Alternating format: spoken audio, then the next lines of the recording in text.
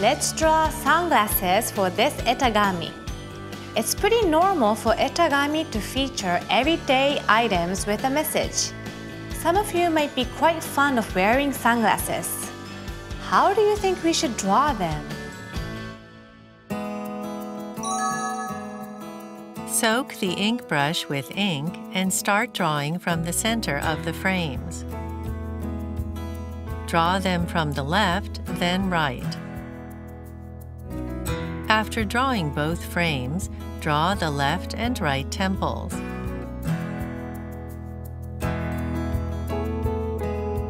Add the nose pad and patterns as well.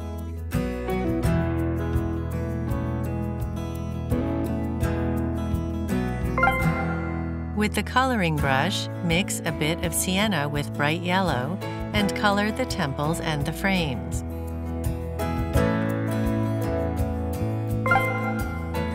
Again with the coloring brush, mix yellow into red and color the frames in layers. For the metal hinges, use the coloring brush and paint them bright yellow. Wash the brush well when changing the colors.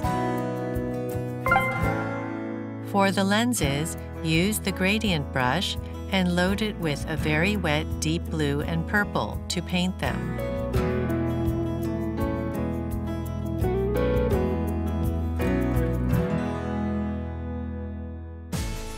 That was it. This example has lots of white space. So I've written the message, the cool shades, across the grasses.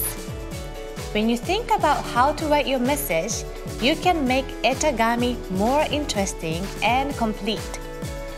See you soon!